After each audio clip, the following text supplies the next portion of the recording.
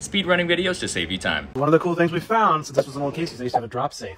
Check this out. There was nothing but water inside of it. Guess my nationality from the first attempt and you win 10 euros. He's Ukrainian. The world's largest fast food chain is shutting down. He claims Subway is shutting down, but that's false. They've been progressively closing some stores as they initially opened way too many locations in addition to inflation and decreased sales, but they're also exploring the option to sell the company with bids coming in around 8 to 10 billion dollars. Pick a cup. Happy birthday. It was a 15 minute fake skit video where she hated every gift she unveiled from under 24 cups, so she traded in for the last cup to finally uncover the caught you cheating picture. Okay, that's good, that's good, that's good. Put it. They put some water in a bucket under some leaves and made someone fall into it. I got tagged in two of these time wasters. Here they are right there. So about three weeks ago, I was sitting in my room and I heard what sounded like the water pipes in the wall running. She thought her roommates were turning the hose on and leaving it running, but after about the eighth time of this randomly happening, she installed a camera and caught the neighbor's young son turning the water on and running off.